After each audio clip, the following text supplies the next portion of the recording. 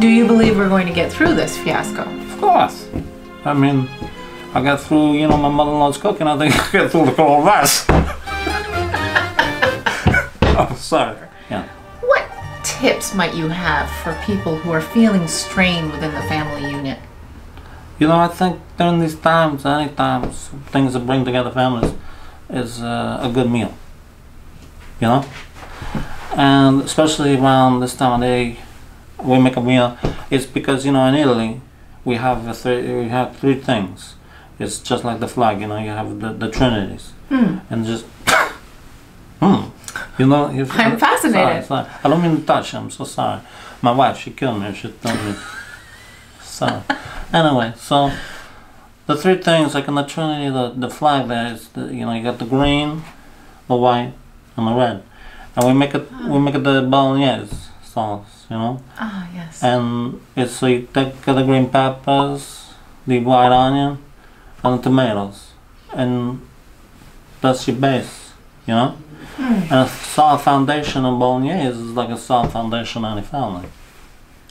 Oh, that is very profound. It is! Very profound. Very profound, I mean. Sorry. Oh, Anyway, sorry. I just came from my daughter's wedding. I'm doing like that. you look very handsome. Thank you very much. Very handsome. Yeah. Did they serve bolognese at the wedding? No. What's osso buco? Is this something you can also prepare? It's very, you know, only special occasion because the veal shank is, uh, is a price in meat. You know, I'm sorry? it's a pricey meat. Ah, pricey meat, yes.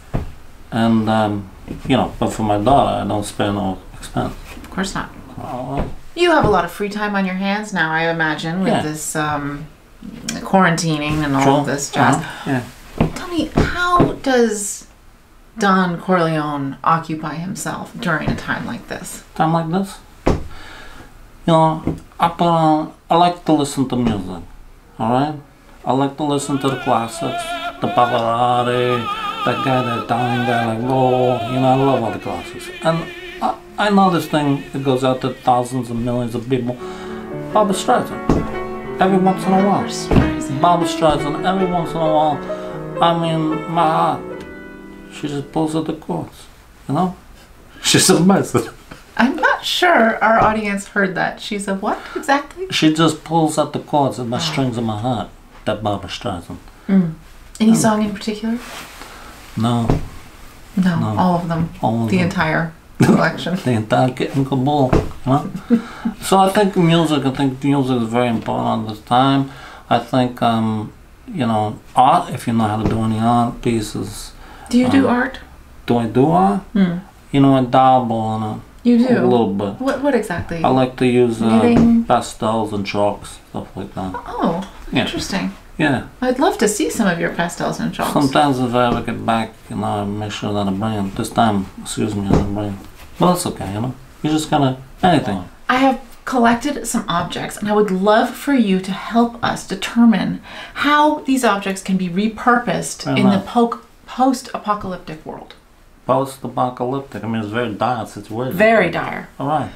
Okay, so, uh, Let's start with this. I like Make sure this. the viewers can see it. I like this thing, huh? I like this thing. The very first object you selected. Yeah, I mean, I could see, uh, you do a lot of things with this thing, you know? I mean, it could be, uh, you can make a cannolis with this, you know, you pound it out a little bit. You know what I'm saying? Pound out that dough. Uh, you could, uh, you know, I don't know. You could like hammer some things if you need to make a new uh, house or something with all these things going around. A house is gonna be here, I don't know.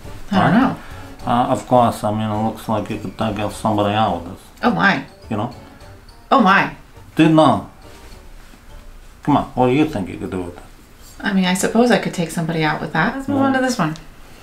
I mean, This is a turkey baster. that's a turkey baster, very fine looking turkey baster. Very fine looking turkey I'm also, baster. I'm not a singer, but if I was, I, mean, I could pretend I was like playing karaoke, you know? Oh, if only Frank were here. me to the moon, let me sing amongst the stars, something like that, you know? Fabulous, fabulous. I mean, I don't, I'm not the blue eyes like he was, but I mean, like, I can karaoke like the best of them. Alright? I would love for you to. No, I'm not gonna be a singing, but so for me, I mean, this is where uh, maybe I'd say this for fun and games now. What would you do? I don't know. What would you do? I would use this to suck out infection from Oh like patients So who've been eaten by zombies. So damn, man. Well, we need them to survive. We do. Okay, cowbell. Oh, please, please. Come on, please, please. I think, you know, I put that on somebody so I know where they were. You know? Oh, genius. Yeah. I mean, it's like, you know who I was more? My little, my little, my little cousin Vinny. I don't know. It's funny because there's a movie about him all the time. But no, I have a little cousin. His name's Vinny.